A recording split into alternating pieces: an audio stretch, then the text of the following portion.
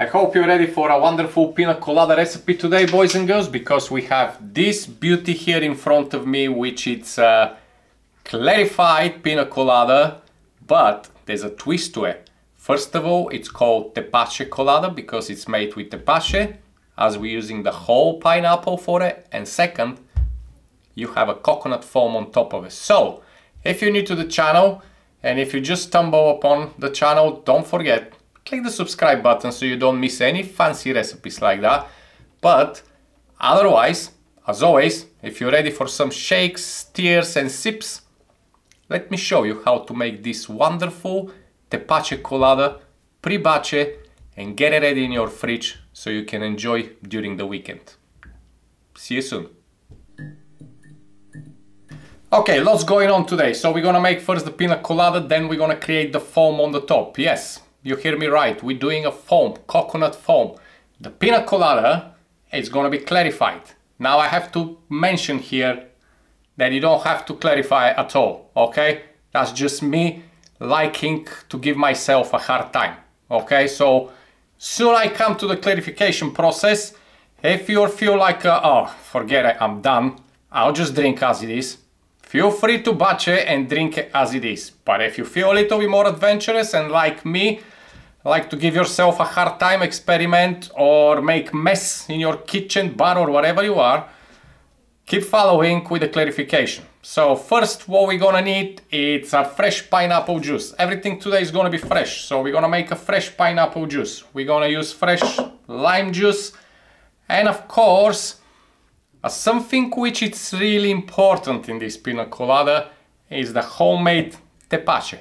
Okay, so why are we doing tepache? Well, we don't throw the pineapple at all. Yeah, we're doing sustainable things here. So we're gonna make the juice from the pineapple pulp, but we're not gonna throw the peel because it will be turned to a tepache. And if you want to learn how to make tepache, as always, make sure you check Mixology Hacks, my second channel, where is a dedicated video what we're doing from this pineapple peel to create this wonderful, delicious tepache, okay? Today, we're just going to get the peel on the side, which is gonna turn to tepache, of course, because I don't like throwing things and I love having a nice tepache, okay?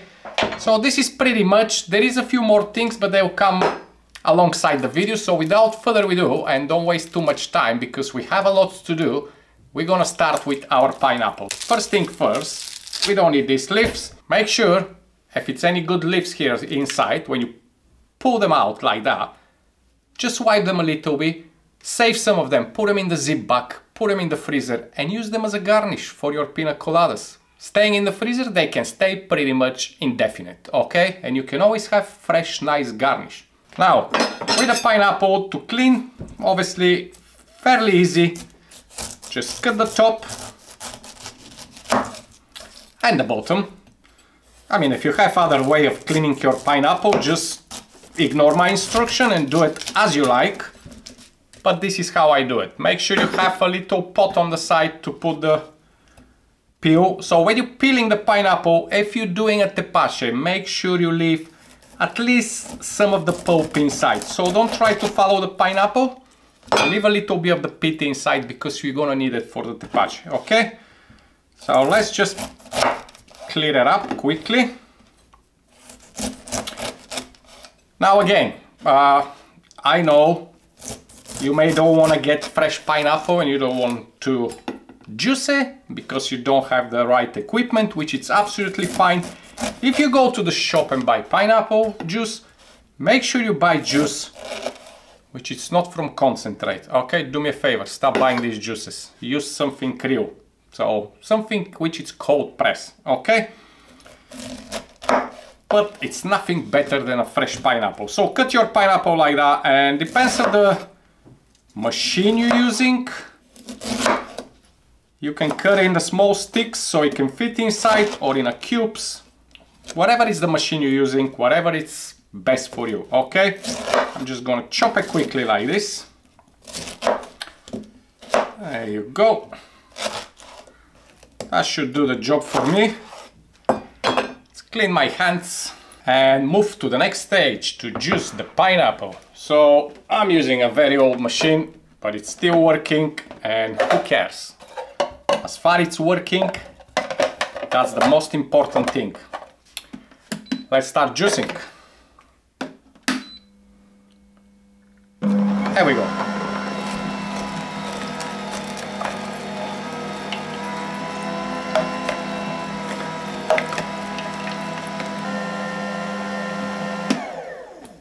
Nearly done. I'm gonna quick reset and clear up the stage and I'll be back with the pre-batching process. Okay, my lovely friends, everything is reset. We have the lovely pineapple here, so let's just pour and see what we have as a quantity because depends of the pineapple, you're gonna decide on how much of the spirits you're gonna use. So you may decide to squeeze five pineapples, I don't know.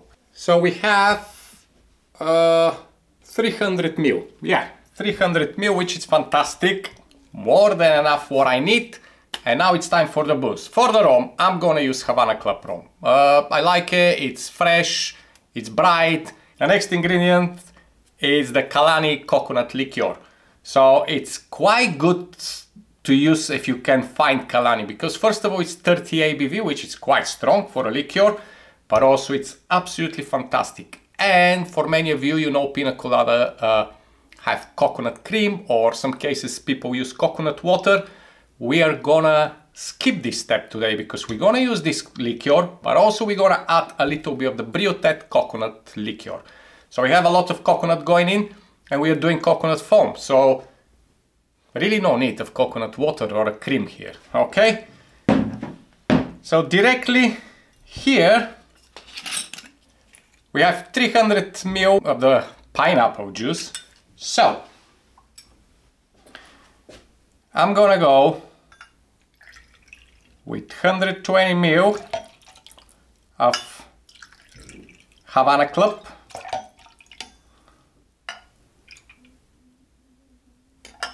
Okay. We're gonna go with 60 ml of the coconut liqueur, the Kalani. Now you may think it's gonna be a little bit boozy, but yes, it's a lovely pina colada, which needs to have a little kick. And that's why I'm doing the clarification, because when we clarify this, we're gonna mellow down the taste and it's gonna be absolutely delicious to drink. However, I wanna remind you again, if you're not bothered about clarification, once we batch this, you can just put it in the bottle and you're ready to go, okay? But maybe try at least once to clarify and see how you feel. And we're gonna go with one ounce of the Briottet coconut liqueur. So to clarify it, and for original pina colada, you know, you, know you, you have a little bit of zestiness inside. So you can use fresh lime juice. No, you can. You have to use fresh lime juice. So in this case, I'm gonna use around two ounces of the lime juice.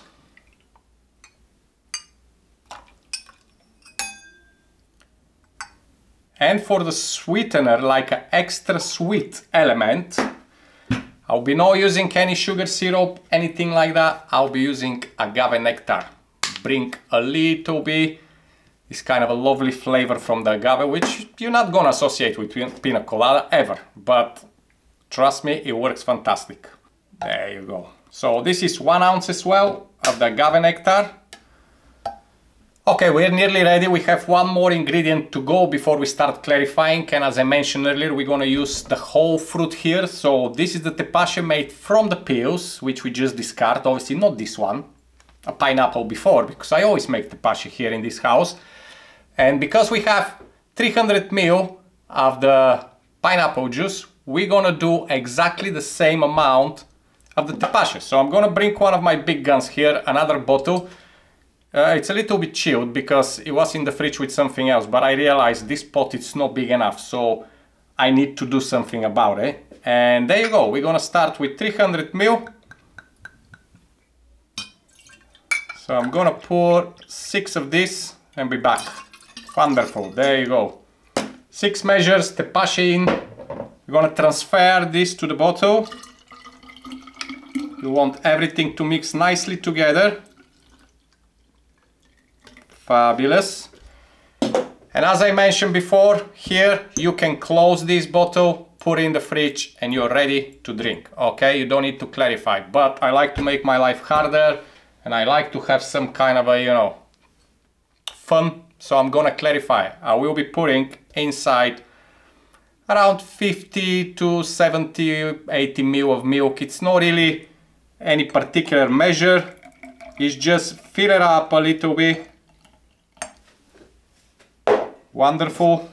Give it a little gentle stir and as you can see this is gonna curdle straight away which is gonna help us to clarify all this mixture and make a more clear splendid pina colada. So leave this to rest for another 10-15 minutes and then you can start clarifying.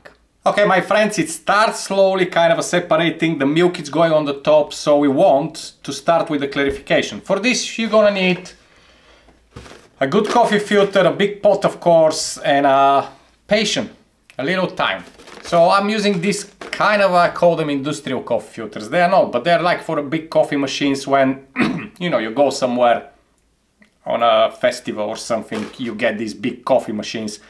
Uh, fabulous coffee filters because they're very uh, strong, they don't break easy, but they are also, the thickness of them, it's very good for clarification because it's allowing the liquid to go a little bit faster than the normal home uh, coffee filter. If you can't find them, obviously, you just need a little bit more patience. So first what we're gonna do, before I actually stick the coffee filter like a permanent, I will put a little bit of the mix and just leave it to start clarifying slowly. The reason why I'm doing this is because I want uh, a little bit of the milk to act as a filter as well, okay? So we're gonna do that. We're gonna leave it for a little bit. As I say, it's a patient game, so don't expect to be faster. That's why I said if you're not bothered of clarification, just batch your pina colada as it was and just leave it in the fridge and you're ready to go. So once I have a few drops and coated the filter, I'm gonna put back the clear liquid here. It's only a few drops to be honest. But now I can get the filter stuck proper to the pot. In my case I'm using like an elastic band because I said this filter is strong but obviously the liquid is heavy so when you put more it may push the filter down and you don't want that. You just want it to keep it nice and steady. And here we go. I'm gonna give it a quick nice mix so I can have more liquid. And I'm gonna leave it to clarify as long as you need, okay? So I'm gonna leave this on the side. There you go. Grab my other pot which I used earlier. Have a second filter because why not? We're gonna use the whole clarification to keep going. Just give it a little more in. There we go. And pour everything to start clarifying proper.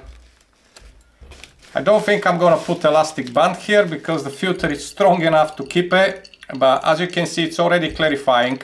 However because this one doesn't have the first kind of a drop of milk and then replacing I wanted to show you the difference.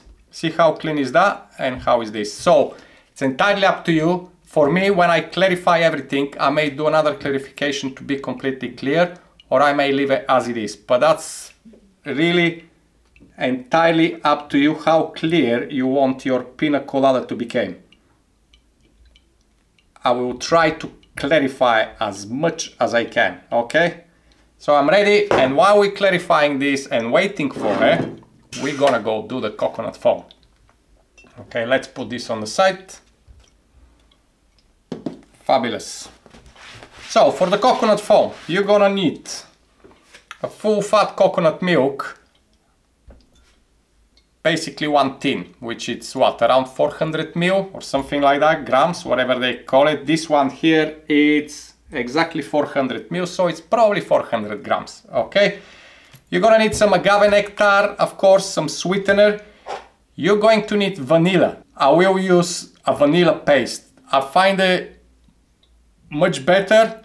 It's very quick to infuse and it's so easy to use. And of course, it's cheaper than actual vanilla pods, okay? And finally, we are going to need xanthan gum. Simple as that. Now, the coconut milk, it should be in the room temperature. So don't boil it, don't warm it up, nothing. Just keep it as a room temperature. And uh, if you have a blender, make sure you prep in your blender. But if you don't have a blender, you can use uh, one of these hand blenders if you don't have blender like that. I love this blender because obviously it's with removable motor on the top so I can just use it as it is. We're gonna pour the coconut milk inside. There we go. Beautiful. Vanilla paste, half a bar spoon or a half a teaspoon, whatever you have. That's all you need just to bring this lovely flavor of vanilla. Okay, I'll leave this on the side.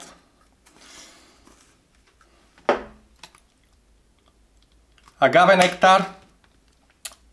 Uh, this is personal preference, so I'll be eyeballing this. I'll go probably around like an ounce, or I may go a little bit more.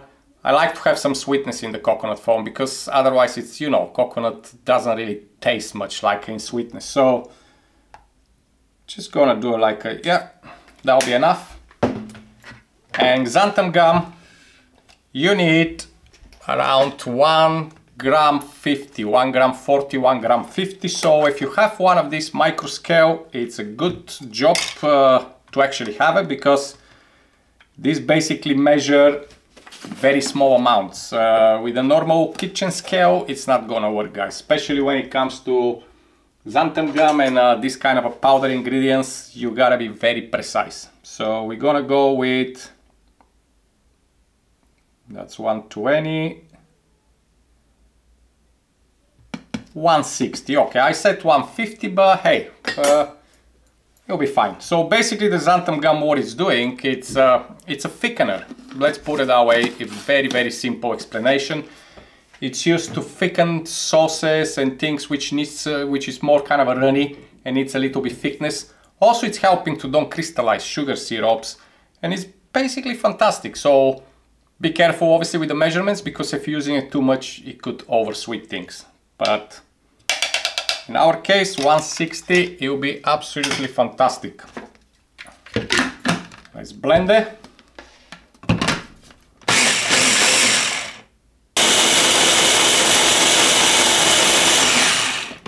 Beautiful. Okay. Right, put this on the side. I'm running out of uh, space where I can put things. I mean, I have enough space just no enough place to put dirty stuff. Now I need my canister.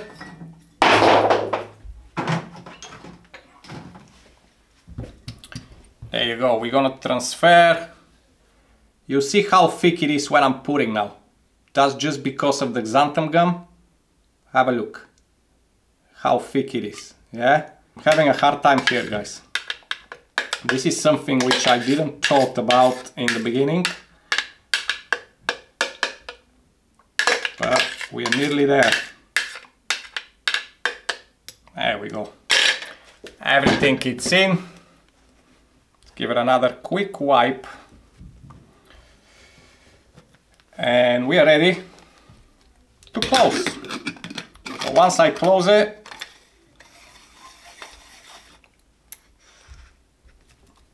now I just need to check because my press it's a iSi press, uh, but it's also for like a nitrogen, depends if you're using fruits and have different compartments inside. For me, I don't want them because for the foam which I'm gonna use, this is gonna be very hard to go through. This is more about uh, if you're using it for the nitro coffee or things like that. So depends what you have. If you so if you do have your usual iSi press, you won't have these uh, things inside. Now you can charge it with CO2 or you can charge it with nitrogen, with nitrogen gas. That's what I'm gonna do. I'm gonna charge it with nitrogen gas. And I'll, at the moment of time, I'll be using just one of the canister just so I can see how it's gonna perform and when I when I test it if I feel like I need a second one I will do second one okay give it a little shake and you're gonna put this in the fridge to chill and be ready so soon your cocktail is uh, clarified you can bottle it and this is gonna be ready for serving it's simple as that Okay boys and girls, once you have the clarification done and your foam is in the fridge for about few hours, you're ready to serve your pina colada. Now this is the best of clearness you can get because we're using tepache.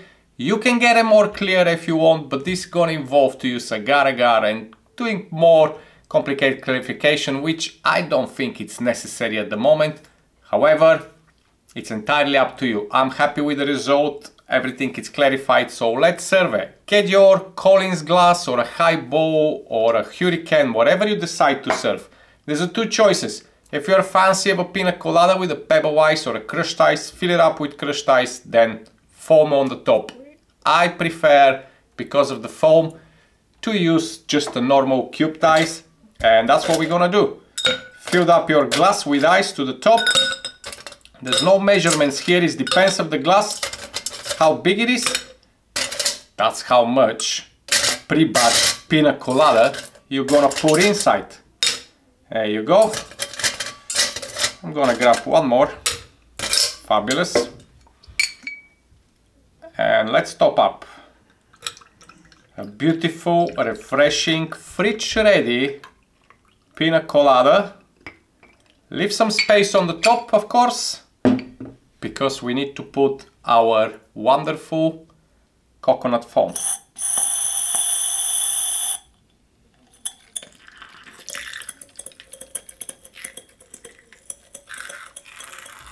There we are.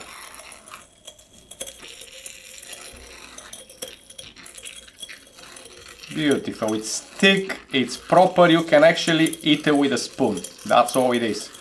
Because obviously we're using only xanthan gum and the coconut milk it's already kind of a thick because it's a full fat. You'll be absolutely fine. Fabulous.